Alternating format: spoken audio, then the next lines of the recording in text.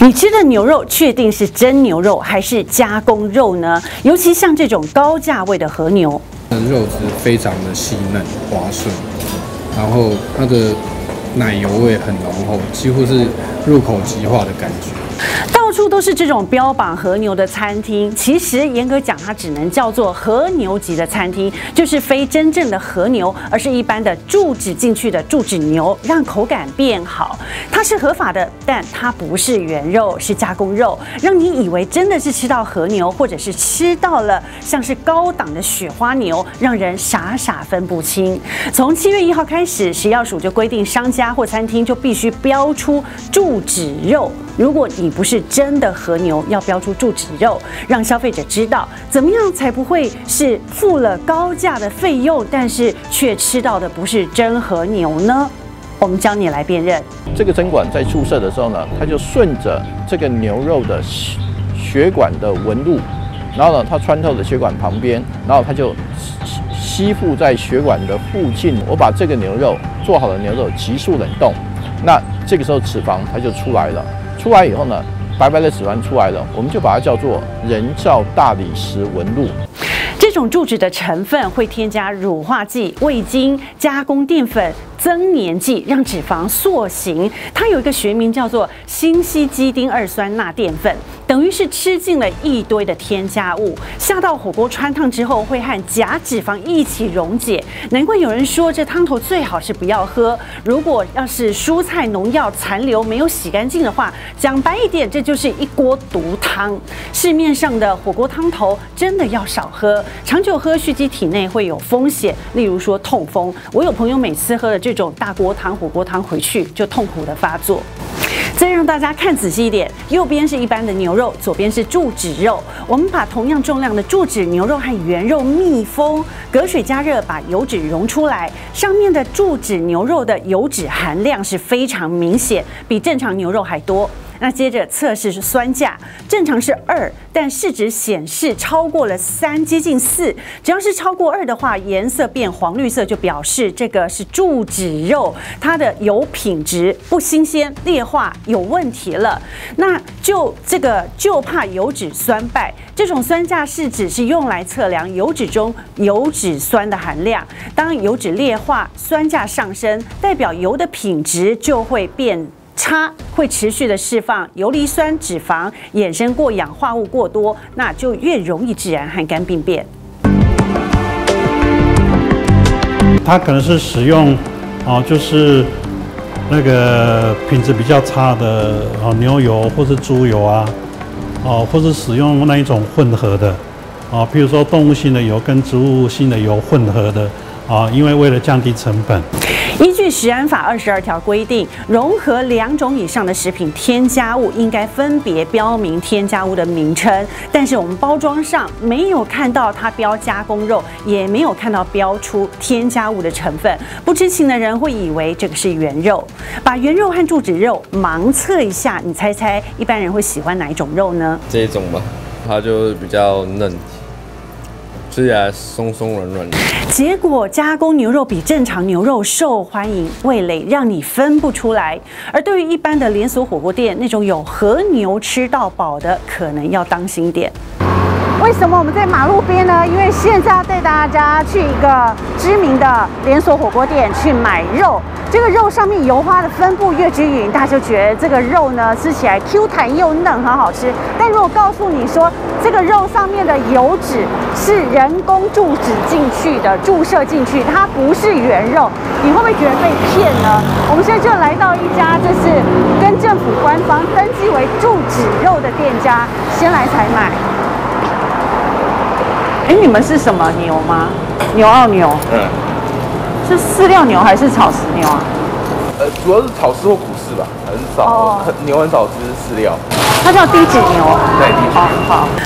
我们要买的是有油脂分布的雪花肉或和牛。老板还很阿萨里拿出了冷冻一大块硬邦邦的雪花牛肉，把它切片，直接弄一盒送给我们，就说如果吃了好吃的话再来买。但是根据我们私下了解，官方登载的资料，这里有下卖和牛级的注脂牛肉哦。但是当我们跟他说要买，他说没有卖了。难道是有自知之明吗？我们再到一般的超市来买真正的原肉，一起带到肉品专家，就是一位教授的家里面。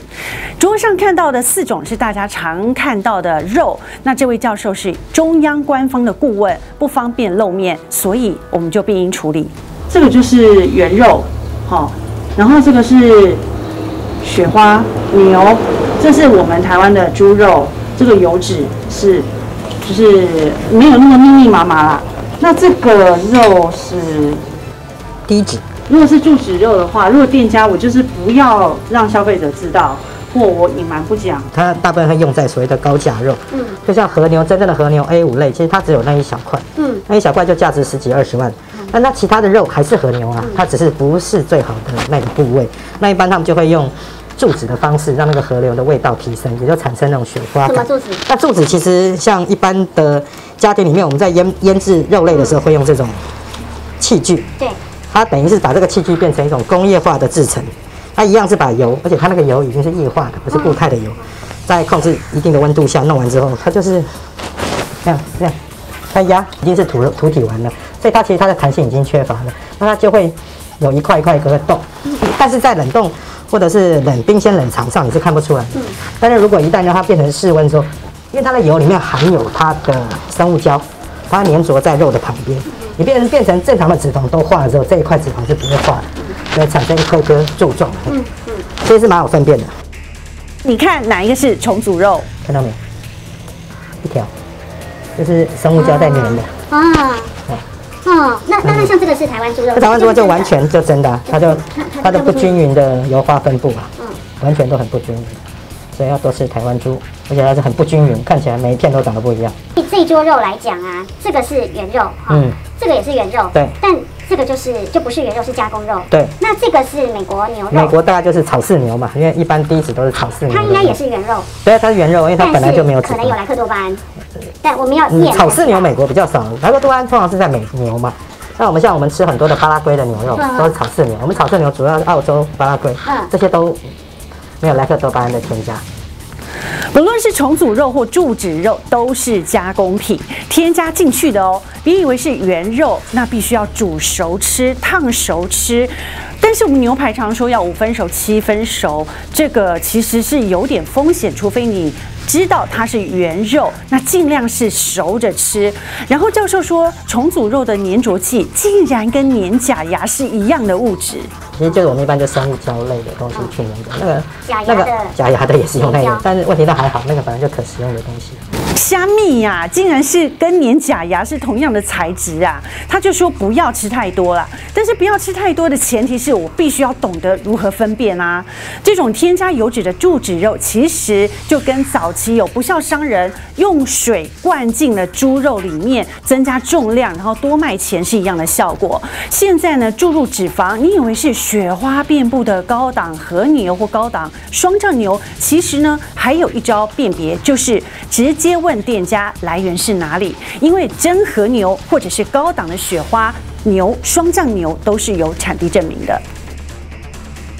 还有就是注脂牛的雪花样的这个假脂肪，在解冻之后摸起来会突突的，和瘦肉的部位不是在一样高的水平，而真的和牛解冻之后摸起来脂肪部分和肉是平整的。那还有表面刮起来，如果是血水和脂肪一起出来，那这就是真和牛了。如果表面刮起来是白白碎碎的脂肪，那这个脂肪就是假的，就是注脂牛。如果有餐饮教授或食安专家愿意出来跟你说明白的话，那真的要多多感谢，因为这是断人财路啊！有教授因此就接到了电话，恐吓说你少讲一点，不然抗报的呀。同样是加工肉，还记得以前在店家门口都会看到它是不是用重组肉，大家能够辨别。那现在怎么都没有看到呢？食药署告诉我们说，如果一眼可以看出是重组肉的，就不必标，像是。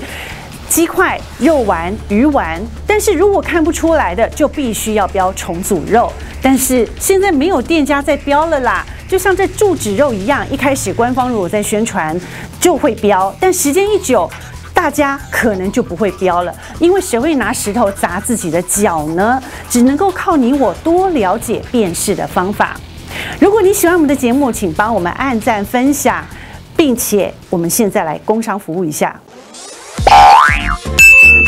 现在哦，这个疫情其实并没有降温，还在升温当中，又有非常多的不明传染链。这个时候，您需要旺旺水神来保护您。那么，其实像这样子，如果您家里是比如说开小吃店的啦，或者是有一些餐厅的啦，有客人会进进出出，或者是您可能是加盟，像是餐饮业，或者是像饮料店，都非常需要水神的生成机，让您可以大量的使用水神，包括像是美容美发啦、美甲店啦、卖场啦、工厂啦、学校、邮局，通通都很适合。因为要长时间保持是消毒安全的状态，等于说在防疫期间用量会比一般的时间来的更大。这个时候您需要方便的补充，就需要在我旁边这一台旺旺水神微酸性电解次氯酸水的生成机了。这个生成机呢，会让你的防疫变得更方便，而且呢，像小小的一台不占空间，比家里的饮水机再小一点点，所以其实放在办公室啦、家里啦、房间啦、客厅啦、饭厅啦都很适合。那么呢，这个三分钟之内就可以生成四公升的水神哦，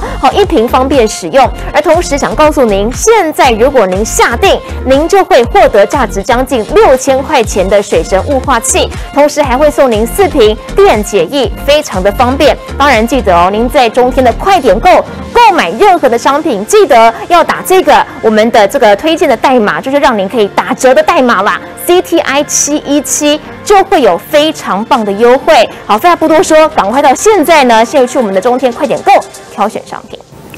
有任何想知道的实案议题，请在下面留言，记得订阅中天电视哦。居家防疫超级好帮手，快上网搜寻，快点购订购旺旺水神生成机，或拨打中天订购客服专线零八零零六六零六零八，中天观众独家享有好康优惠哦。输入张若愚推荐代码 CTI 七一七，还另外享有折价优惠哦。